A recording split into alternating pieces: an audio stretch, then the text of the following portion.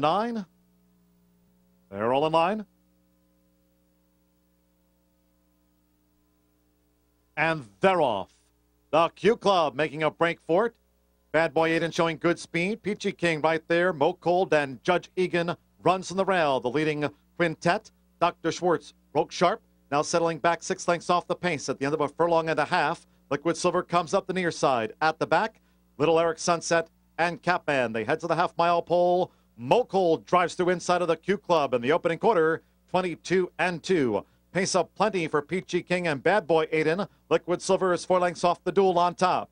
Dr. Schwartz is next from Judge Egan with those rails. Little Eric Sunset and the favorite, the favorite Cat Man, is last at the 5 16th pole. The Q Club has crossed swords with Mo Cold and Peachie King is right there looming. Liquid Silver comes four deep. Bad Boy Aidan, Dr. Schwartz on the far outside into the stretch, half mile in 46 seconds flat. The Q Club, the Q Club, the leader. Mo Cold's under pressure. Peachie King, Liquid Silver, Judge Egan at the rail. Late game by Catman, who's coming up the inside, but still seven lengths in back of the Q Club. John Jacinto with the Q Club.